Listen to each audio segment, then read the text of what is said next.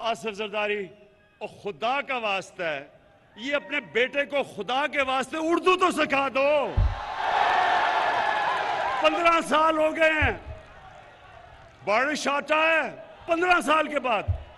चीनी उगता है। खुदा का वास्ता है।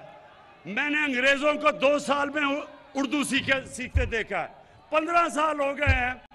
कभी इसे यही नहीं पता कि लड़की आता है या आती है। इसे ये